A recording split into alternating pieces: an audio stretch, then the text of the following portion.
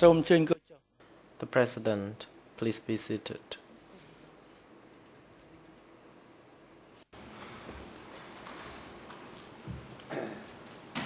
សូមអញ្ជើញ I would like uh, to invite uh, the International Co-Prosecutor to make uh, your oral submission. The floor is yours.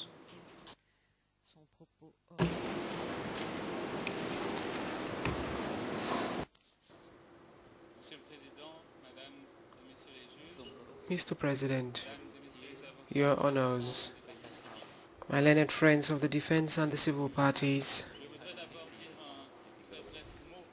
I would like to say something brief regarding your decision, the consequences of your decision of the 20th of of the 20th of February 2009 regarding translation rights because these have implications for the two hearings that will be held today.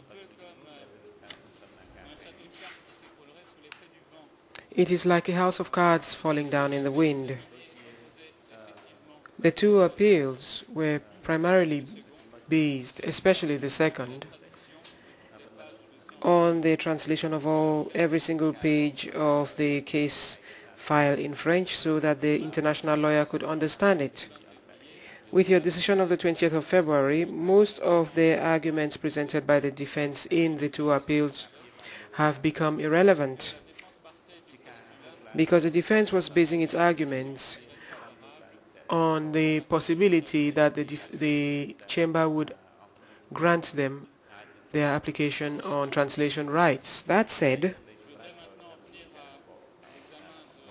I should now like to turn to the appeal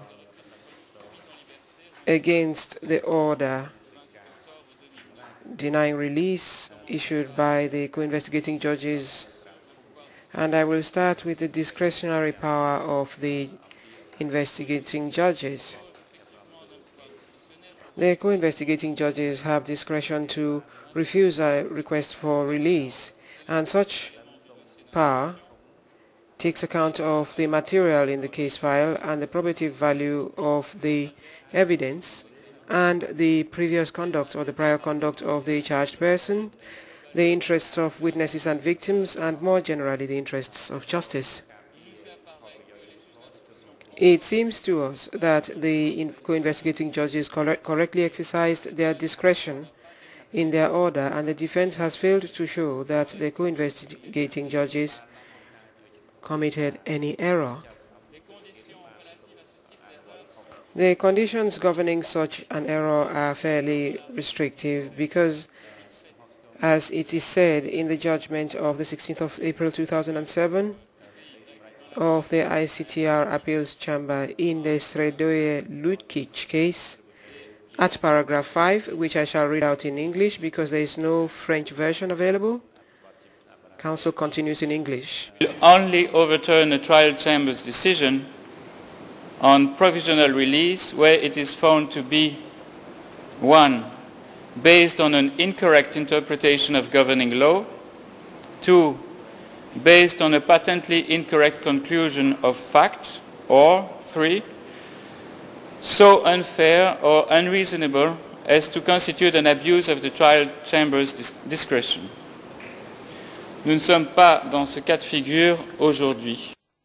This is not what obtains here. Furthermore, the appe- appeal does not mention a significant change in circumstances that could justify the provisional release of the appellant.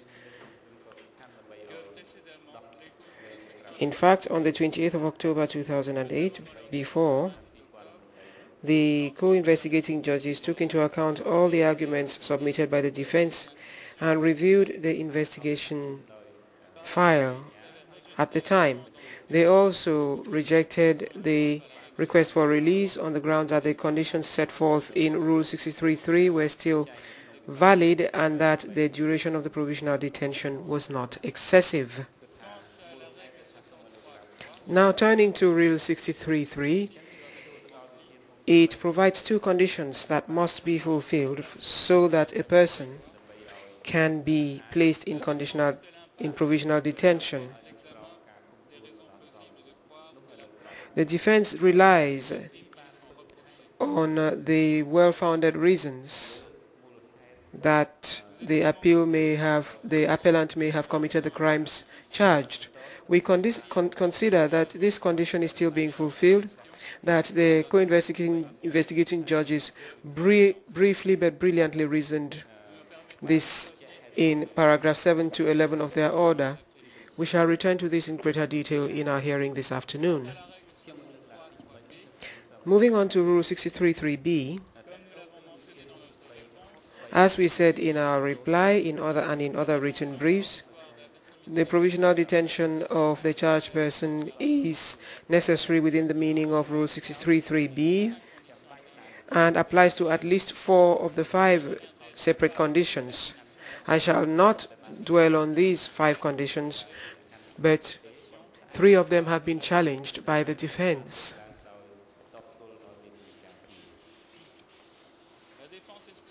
The defense considers that the co-investigating judge's refusal to grant provisional release is based mainly or only on the seriousness of the crimes charged. We agree that the seriousness of the crime charge alone cannot justify a refusal to grant release. But that is not what the co-investigating judges say in their order.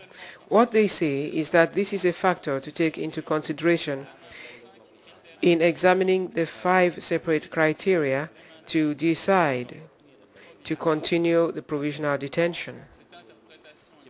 This is consistent with international law. Combined with other factors, the seriousness of the crimes charged can be considered as being relevant to deny provisional release I refer in this respect to the Gotovina judgment of the 17th of January 2008 at paragraph 15. It is vital for the credibility of the ECCC that proceedings concerning charged persons comply with or follow the rights and interests of all parties. For justice to be done, we, it must be ensured that the charged persons or accused participate at all stages of the proceedings. Next, witnesses shall, should be present and should cooperate. The security of documentary evidence should be guaranteed and the chambers should work in serenity. In view of the importance of these proceedings for Cambodia and the international community, any risk to these conditions must be analyzed carefully because no error can be permitted. It is like work walking on a tightrope without a safety net. With regard to the risk of pressure being exerted on the witnesses and victims, and I refer here to Rule 63.3bi, your chamber has already noted before that the vast majority of witnesses and potential witnesses are ordinary people who may be intimidated by the process of justice. These are people who have suffered trauma. These are people who have, are used to being quiet because of the impunity that has reigned. And these are people who may be afraid to give testimony for fear of reprisals. And here we have a former head of state who has held high office all his life, both before 1975 and after 1979. And of course, I shall not dwell on the Khmer Rouge period in this regard, Rouge period in this regard. Many of the witnesses have heard what the charged person has said, and he still has influence today with former Khmer Rouge members in Pailin or elsewhere. In short, this is a person with influence who in 2002 issued threats of reprisals in the press in case he was arrested. The key witnesses, of which there are only a few in this case, should be able to tell their story without fear of intimidation or revenge. This is even more so in the case of former subordinates. But there is an aspect of Cambodian culture, which is that the authorities are respected and feared even when they are no longer in power. There is a concrete risk that the liberation of the charged person would fuel the fears of the victims and witnesses to such an extent that it would prevent them from participating in the proceedings. We must also take into account that in Cambodia, the judicial system is still being established. Witness protection is a fledgling concept. Violence is a fact of life, and access to weapons is easy. In the Haradinaj case, in the ICTY trial chamber, on 20th July 2007, it was said that if a chamber does not take all the necessary measures to guarantee the appearance of witnesses before the judges, it would compromise the proper administration of justice. And the chamber noted that there was a risk that it could not perform its prime duty, which is to ascertain the truth. We must also take into account the access of the charged person to the case file and therefore to the names of potential witnesses, of whom many have not yet been interviewed. He also has access to the names of civil parties. The co-investigating judges lastly considered, rightly, that in this case, because of the media coverage of the charged person since his arrest, the time that has passed has only increased the risk of interference and pressure on witnesses in case of release. There is every reason to disregard the defense arguments in this regard. With regard to protecting the security of the charged person and preserving public order, I shall not dwell on what has already been submitted in writing. I would just highlight some new information that could emphasize the threat to the charged person's safety and the risk to public order. We should bear in mind that evaluating, evaluating such risks necessarily includes anticipation. My colleague has already mentioned, mentioned the event of 1991 when an angry crowd threw stones at the charged person.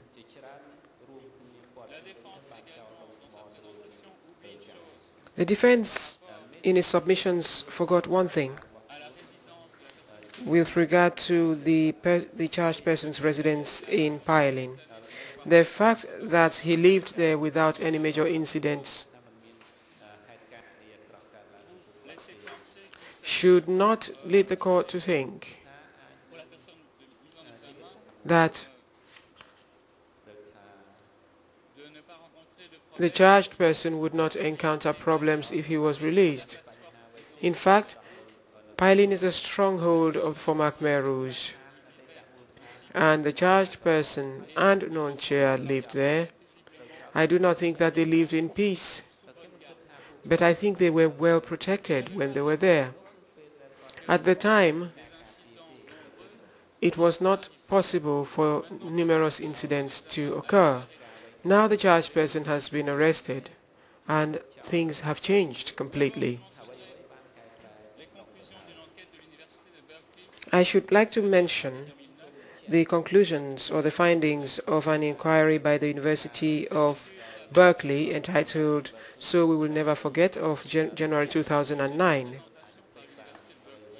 The university made a presentation on this to the ECCC, and very recently the co-investigating judges considered that it was not necessary to include it formally in the record of the case.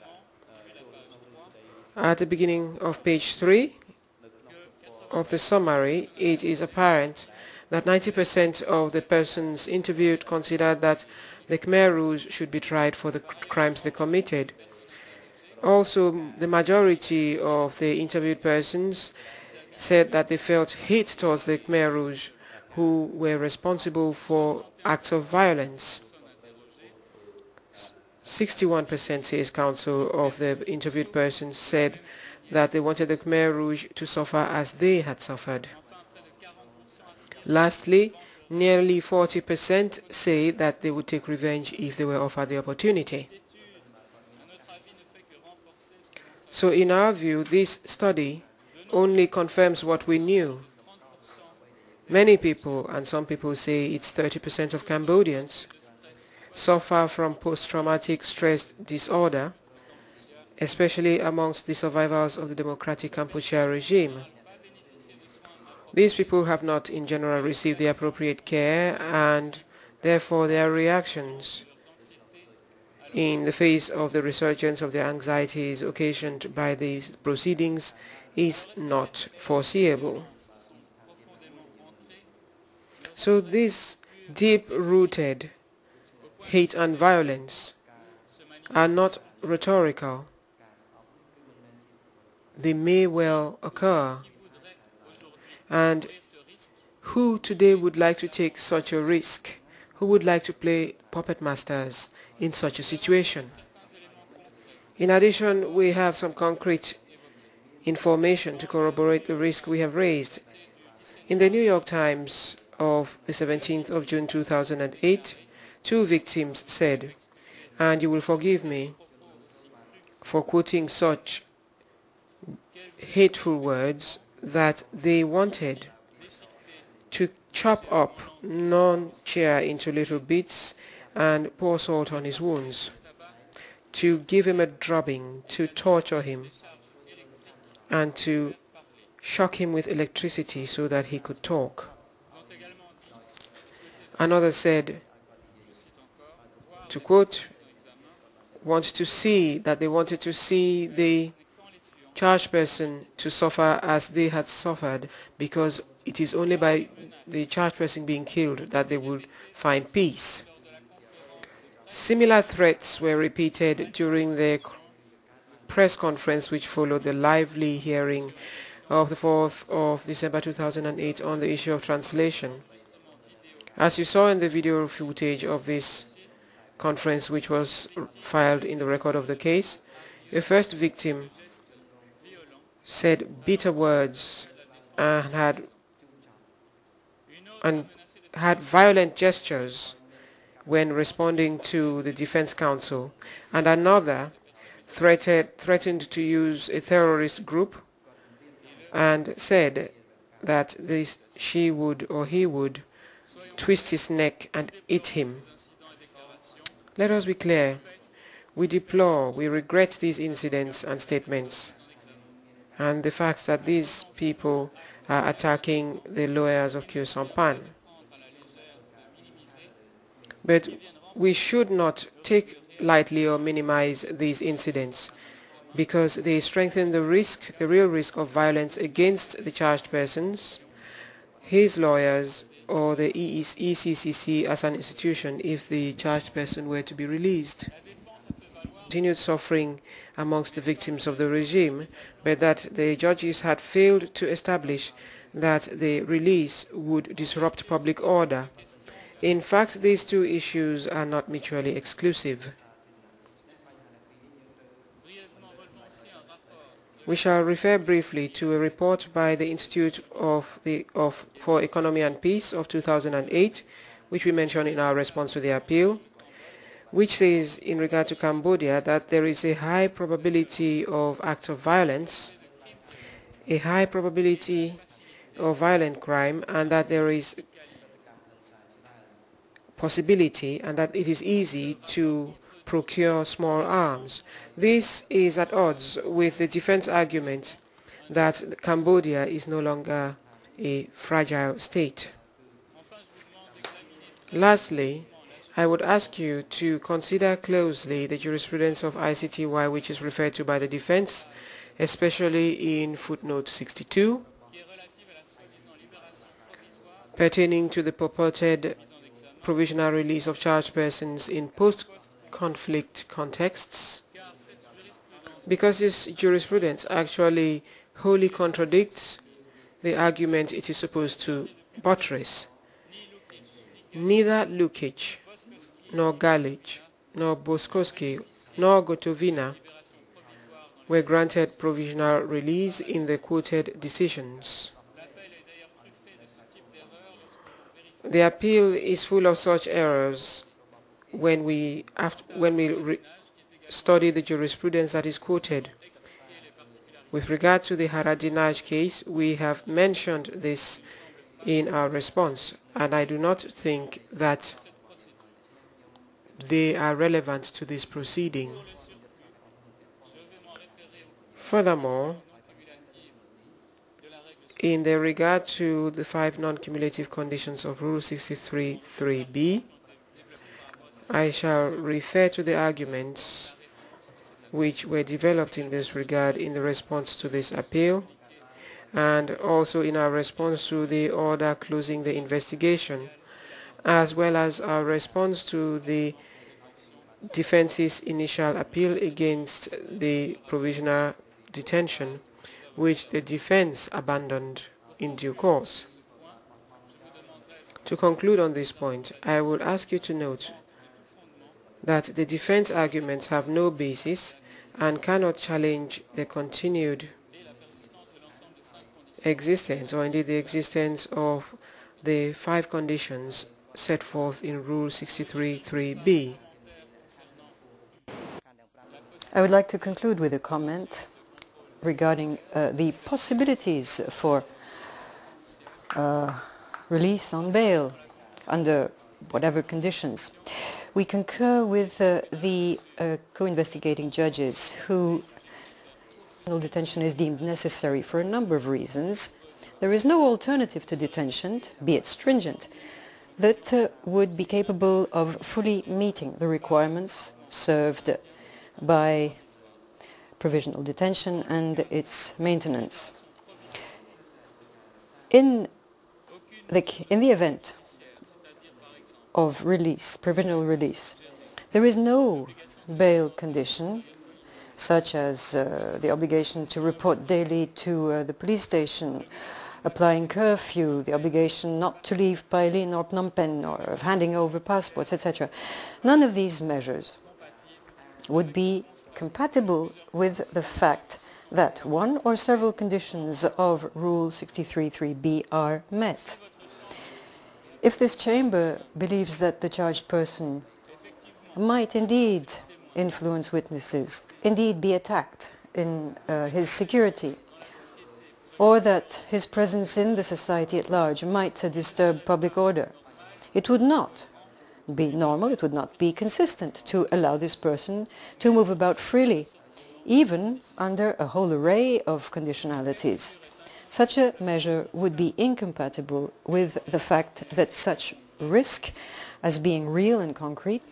Furthermore, I'd like to point out that right now the public is increasingly aware of what is happening at ECCC. The public is now mm, very much aware of the past of the person, uh, of the uh, charged person. And this is connected with the fact that more than 3,000 uh, complaints have been filed in case file 2. In this respect, I would like to conclude my intervention by asking for a full denial of all the requests by the defense. Thank you.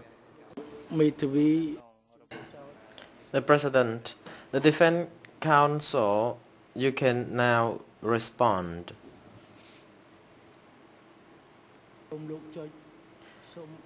The President, please press the button to activate the mic before you can speak. Mr. Sa Sovan. Thank you, Your Honor. I would like uh, to state again, I think I will be brief. I am wondering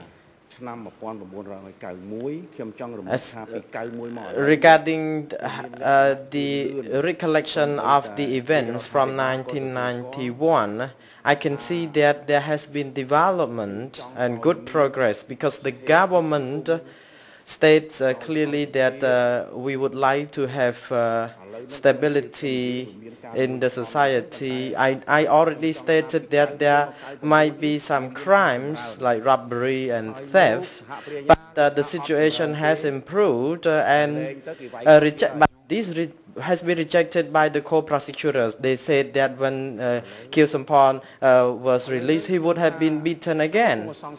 And thou has been cast on me. What language are we using here? If I say it is uh, uh, wood, then you said it is a metal, things like that, object. My second doubt. You, for example, if Khieu Samphan were to be released, that he would uh, exert uh, pressure on witnesses, as uh, stated by the co-prosecutors. Uh, 1.7 million people died, uh, including my family members. I got people in my family who died. Uh, and then you said that uh, if he were released, then he would uh, be uh, threatened or uh, mistreated.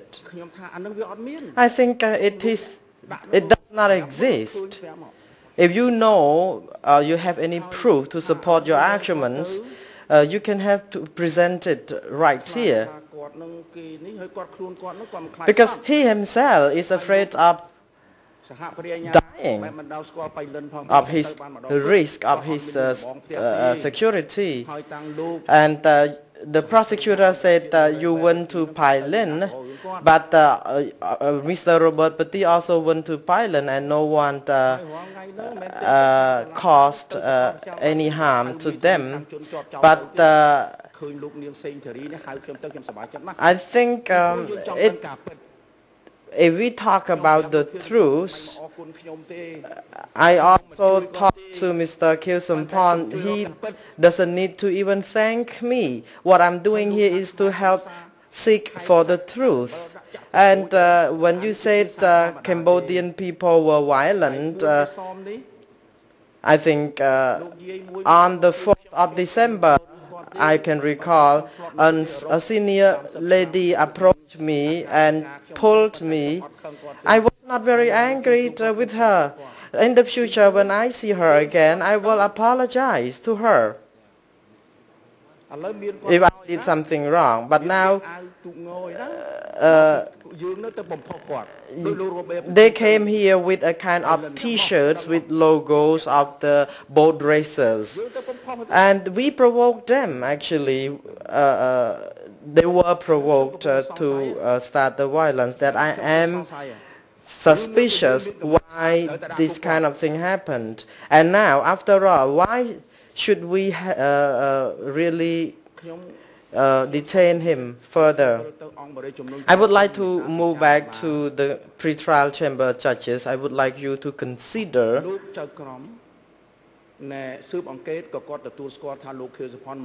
the matter as, for example, the co-investigating judges agreed that uh, he would not uh, uh, escape. And he is here. And I believe that he will never flee. But I would like to just uh, wrap up, just to, uh, to save our time. I am very suspicious now. I would like to end by giving maybe five to ten uh, minutes to my colleague uh, to make a comment because he will talk on my behalf also, I just filed an application to the investigating judges to investigate uh, the matter of alleged corruption because it is widespread now and rampant. So I would like uh, my colleague to add further on top of my comments. The President, uh, the co-defense lawyer, you can now take the floor to respond to the submission made earlier.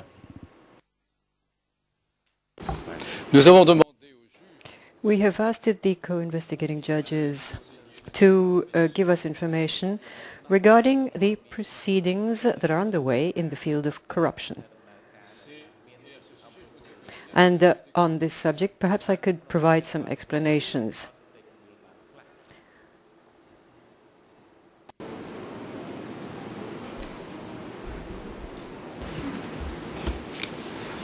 Council, you appear to be raising new issues, not by way of response to what has been uh, provided or inserted Alors, by Monsieur the... juge, Monsieur I'm sorry, let me Messieurs, finish.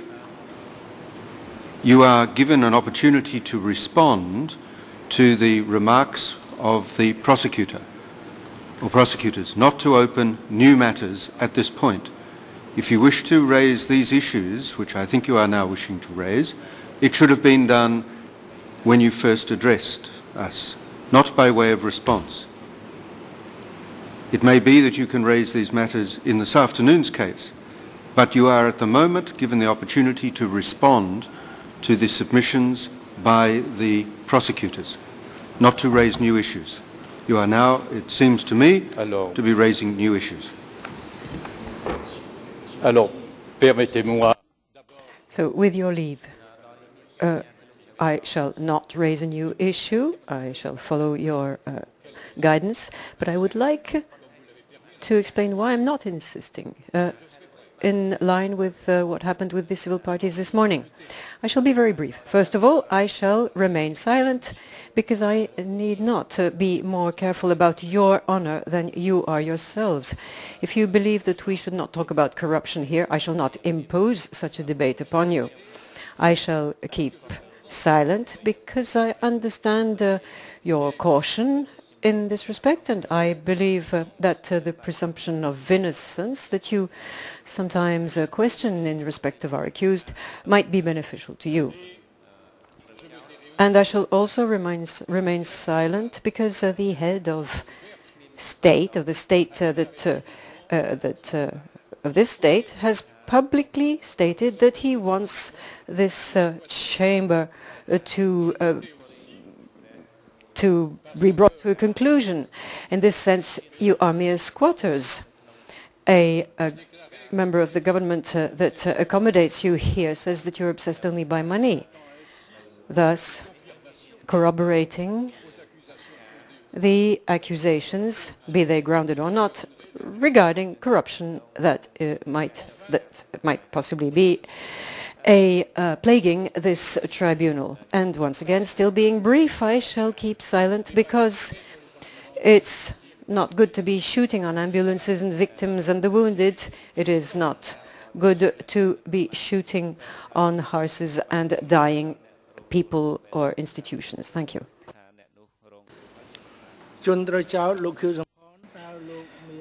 The President, the charged person, Mr. Kieu would you like uh, to make any final statement? Uh, you can take the floor now if you wish to do so.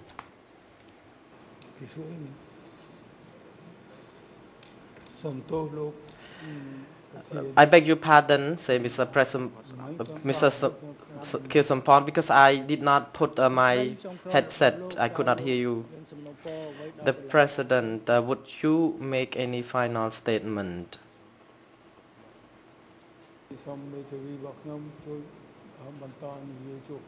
Uh, Mr. Kieu Samphan, I would like my defense counsel to continue speaking on my behalf. Defense counsel, Mr. Sa Sovan. I would like to respond to the arguments made, uh, a submission made by the co-prosecutors. I thank you, Your Honor, for giving me the last minute. I am very sus- suspicious uh, with the international co-prosecutor, and I don't, don't want to be long. I think he uh, may not know Pailin very well because he said that Kieu Samphan was in Pailin and uh, and then I am suspicious. Uh, however, Jacques Vergès, my colleague, already stated clearly that the government has been aware of the matter. So my suspicion has been uh, already stated by my colleague that we would like uh, the pre-trial chamber to take this seriously because uh, Kieu Samphan, uh, he himself loves himself so much because he uh, really does not want to die. And uh, as I told you earlier, when we met with the victims, uh, the, the senior lady told me and he, she cursed me and I was so disappointed to hear her message because she cursed me to die in a plane crash, for example. And I follow the proceedings and I'm seeking for the truth. And I think uh, we can uh, discuss this matter in another trial. I thank you very much, Your Honors. That is my comment.